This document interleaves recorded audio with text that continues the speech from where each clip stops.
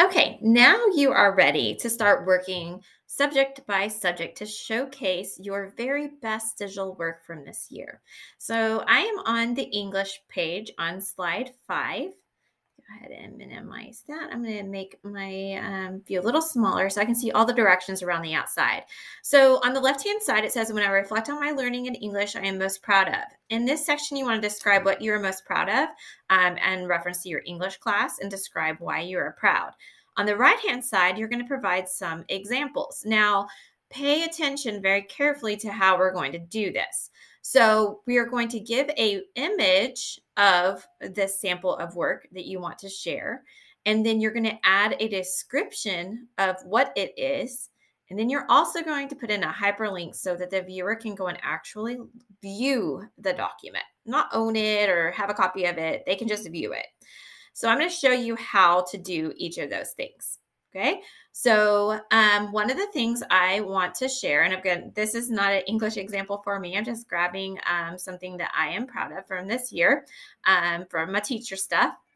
Okay, so this is a Word document. Um, it's not an image, so that's not easily inserted. And so I'm going to use um, my um, shortcut keys on my Chromebook, if you're working on a Chromebook, um, to take a screenshot image of this so that I can add that in. So remember on your Chromebooks, there are two different ways to do screenshots. If you want the entire screen, so all this stuff, um, which then you probably would need to crop the image, right? You can do the control key plus the um, show windows key. But I am going to want to just get an, a picture or a, this section. I just want this section in it. So I'm going to do the control shift plus show windows. Um, so when I do that, I'm a- able to actually just select the portion I want to get a screenshot of. Okay. And so when you're working on a Chromebook, I'm, I'm not, I'm working on a teacher laptop at the moment. Um, but when you're working on a Chromebook, you know that that does save to your Google Drive for you um, so that those will be available. I'm going to share mine um, or save mine really quick so that it is available for me because I'm going to show you how to put this in. Okay, so back to the portfolio. So one of the things I'm most proud of is this snake activity. Um, I'm going to click to replace um, and it is I'm I have to upload from my computer, but when you're looking for your stuff, it's going to be in Drive. But remember, we're looking for pictures to add in here. So I'm going to upload from my computer. That's what I have to do because that's where mine happens to be saved. And it's going to be in my pictures. There it is. And open.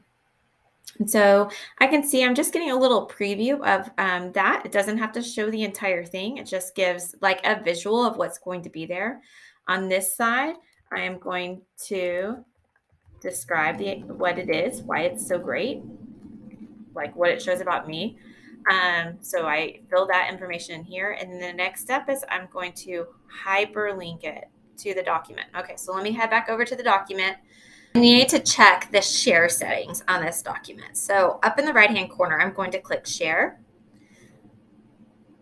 And I need this to be viewable by anybody who clicks on the link. Um, so the first option is going to be um, anybody in Rockwall ISD who clicks on the link can view it. Um, I can also just say anyone with link, which means anybody in Rockwall ISD or outside of Rockwall ISD. Um, so you got to think about how you're going to be showcasing this. I think it's probably okay um, to just keep it to Rockwall Independent School District, but you want to make sure you keep it as a viewer. You don't want the person to be an editor. Um, you want the person to just be able to view your document.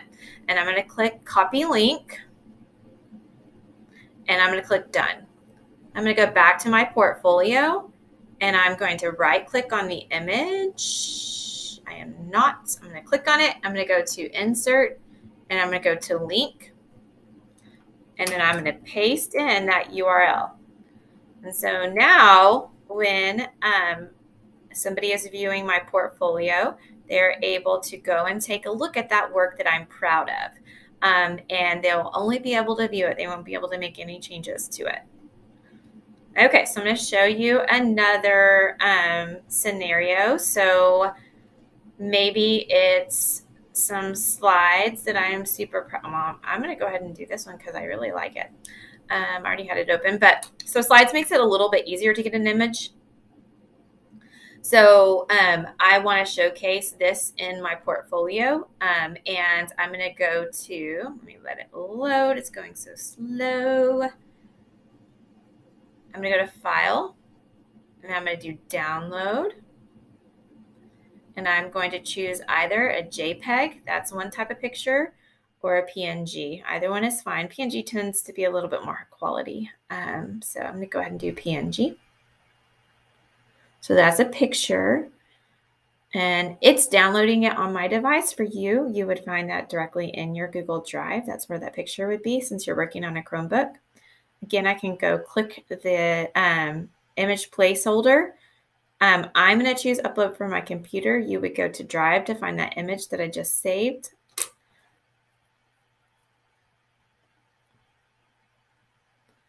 And I'm going to pop that right in and oh, look, it's turned. I think I'm going to turn it.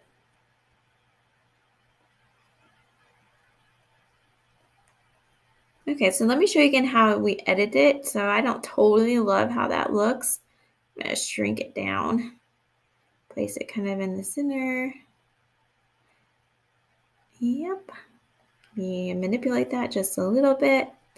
And whenever I'm finished, I can just click off of it. And now that is a nice image of something I'm proud of. I'm going to type in here why it's amazing work. And then I'm going to add in that hyperlink again. So I'm going to go back to the portfolio mission. I'm going to go to share. Right now it's set to restricted. I'm going to change that and I'm going to say that anybody in Rockwall I as a viewer, I'm going to copy that link and click done. And I'm going to go back over here. I'm going to click on that image. I'm going to go to insert. I'm going to click link. And I'm going to paste in that image or that URL link. I'm sorry. And now I can click it and it's going to take my viewer when they're viewing my portfolio directly to a viewable copy of that project that I wanted to share. Okay, so that's exactly what you're going to do for each of your classes. So you're going to work through all of um, your classes. You can change out headers. So of course your electives are not called electives. Um, so change it out for what they are named. Um, but same exact thing um, for all of your classes. Then I want you to reflect on um, your data for the year, get some examples to show how you have grown this year. Um, let's think about our conduct and work habits. So, not just academically, but how have you been as a citizen at school? Um, what does that look like? And can you show some examples of how you um, are very proud of your conduct and work habits this year? There's a, a, page that is specific for maybe your outside of school activities, your interests and hobbies, or maybe your interests and hobbies, you get to do them at school. Many of us do. And then you're going to be looking at your future. So next year and five years, where will you be? Click to add some images. Um, these might be things, you know, a picture of the high school you're going to or the college um, in five years and describe that for your reader.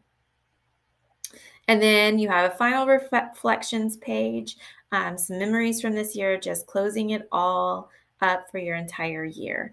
Um, so that is the portfolio from beginning to end. Okay. Um, again, these pages for each of your content areas, as I went over at the beginning of this video, that shows you exactly how to set up each of these images with an, an image of the work you're sharing and then a hyperlink so that the viewer can see that work.